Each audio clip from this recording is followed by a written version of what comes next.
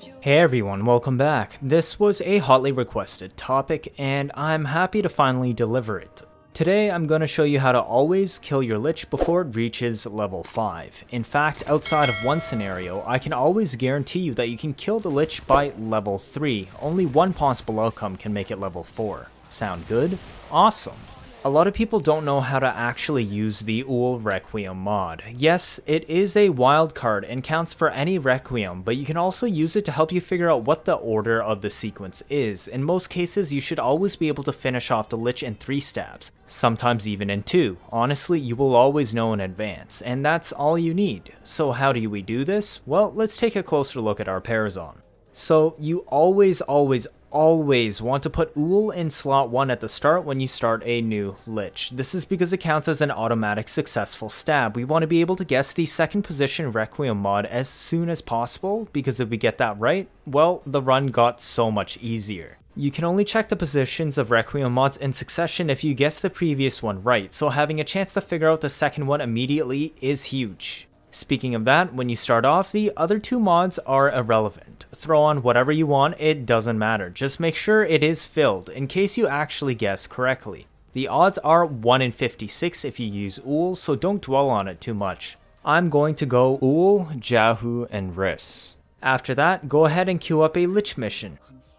Oh wait, set it to co-op. This is important because you will be able to benefit off your teammates' lich stabs. Another thing I've noticed, which I'm not sure was true before the mainline update, is that if you join a mission in progress, you will retroactively get all the stabs the team has already performed in the mission before you load it in. You can see here how my ring instantly already pre-filled an 8th even though nothing was around to be stabbed. Sometimes if you spawn in and a lich was already there and stabbed, which is rare for level 1, you'll instantly get the stabs from the lich itself and the dog that came along with it from the teammates, which is enough to instantly fill half of your first ring.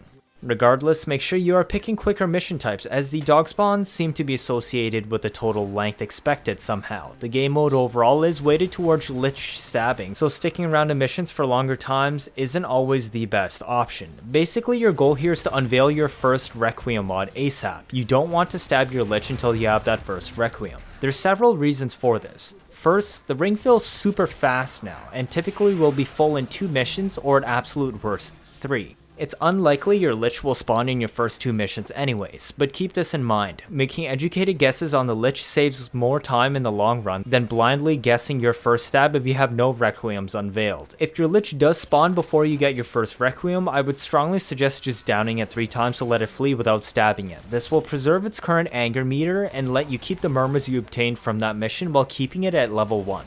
This is honestly a pretty rare occurrence, but you'll thank me in the long run.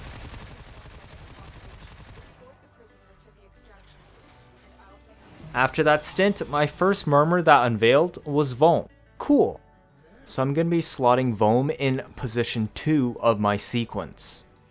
So you will always be slotting Uul, Unveiled, and a random Requiem after you finally unveil one Requiem mod. At this point, you see my Corpus Lich is at Furious, so it should spawn soon for my first stab. It took two missions for it to appear, and I'm finally going to stab her. Make sure you always stab the dog that spawns with the sister first, as this one will despawn if you stab the sister first. You'll see I got lucky here and it turns out Vome was in fact the second position. I'll explain alternative solutions later on if this isn't the case. But after this first stab, I don't want to stab my Lich again until I unveil the second Requiem mod. This should only take two more missions or so in co-op because again, two missions is two to three dogs each, and your ring should already be two thirds to three quarters full or so after you stabbed your first Lich. Once you unveil the next Requiem mod, your Parazon page should look something like this on the bottom. This is what our Parazon page is now. The next mod unveiled happens to be Ris. Because we know Vome is supposed to be second in this sequence, we can narrow down the final sequence to either being Oull Vome Ris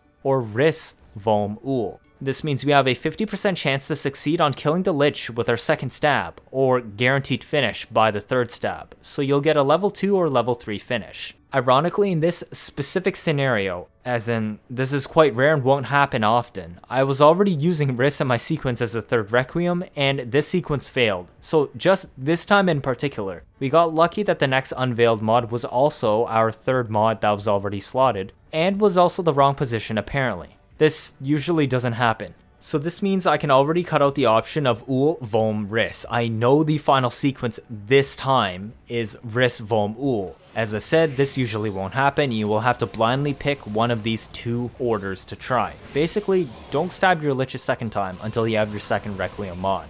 So now I can just run more missions until my Lich spawns and I'll be able to finish it off as a level 2 Lich, this time with a combination of Ris, Vome, and Oull. But let's dial this back. This scenario only assumes that the Vome we unveiled at the start was correctly guessed as the second position as observed in this case. But what happens if our first stab shows Vome was incorrect for the second position? Well, this isn't useless information either. We now know that Vome must be in position 1 or 3. Once again, you don't want to stab your Lich a second time until you get the second Requiem. Let's say we unveiled the next Requiem mod, and like last time, it's Ris. So in this particular case, remember, we always want to keep Oull in position 1 so that we can always at least stab twice to test the second position, unless we are certain of where the other two mods are and we're going for the final stab sequence to kill our Lich completely. So this means we'll put Oull in slot 1 now, and Ris in slot 2, and Vome in position 3, because, well, we proved Vome was incorrect in this scenario. Now we can stab our Lich a second time, and there's three possible outcomes here. Case 1 is Ris is wrong, and we only got Oull correct. Case 2 is Ris is right, but Vome is wrong. And case 3 is Ris is right and Vome is right, meaning we finish the Lich instantly by guessing our second stab correctly. That case 3 finishes the fight, so I'm gonna ignore this one because that's not the point of this video. Let's look at case 1, where Ris is wrong and we only got Oull correct. Well, if Ris is wrong, we know Oull has to be position 2 because we already tested Vome and Ris in this position and neither of them worked. This means the correct sequence must be Ris Oull Vome or Vome Oull Ris.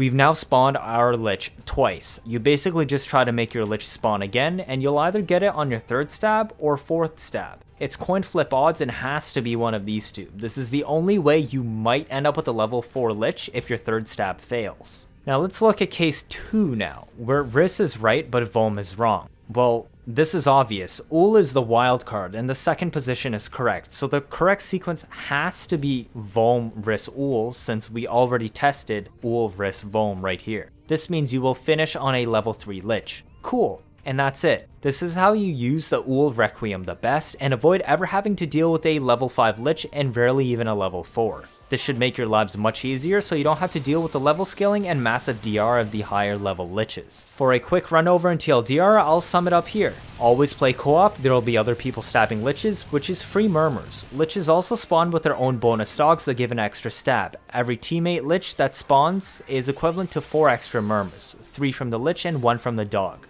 This is half of the first Requiem mod ring, or one quarter of the second ring. It's huge. You also retroactively get Murmur progress from stabs before you load it in if you join a pre-existing session. This speeds up your grind considerably also. Now the important part. Don't stab your Lich the first time until you get your first Requiem Unveil. With all the co-op stuff and retroactive Murmur progress, this shouldn't be much of an issue. It is relatively uncommon for you to get the Lich to spawn before even filling your first Requiem ring. Otherwise, just shoot it 3 times and make it run without stabbing it. You want to preserve the anger meter. Once you unveil your first Requiem, always set that unveiled Requiem to position 2 and leave Oull in position 1. Now go Lich hunting and stab your Lich when it appears. You will most likely fail. By the time you extract after your first stab, the second Murmur ring should be nearly 3 quarters full. You don't want to stab your Lich a second time until you unveil that second Requiem mod. The next part assumes you have unveiled this second Requiem mod. If your first stab shows second position was correct, put the unveiled mod in third position and stab again. You will either succeed or fail. If you fail, then the correct sequence is reversing the first and third position swapped around. Now let's dial it back. If your first stab showed the second position was incorrect, go unveil the second mod as usual. Put this newly unveiled Requiem mod in position 2 and move the old mod to position 3. Now go stab your Lich. You might succeed completely and end here, or position 3 was wrong. That means swap 1 and 3 and stab again to finish. Or maybe even position 2 was wrong and you got nowhere again. Well this means Oull must be in position 2. So now try the known mods in 1 and 3, or 3 and 1. It's random which one it is, and this last scenario is the only one that might result in a level 4 Lich. we're finally done.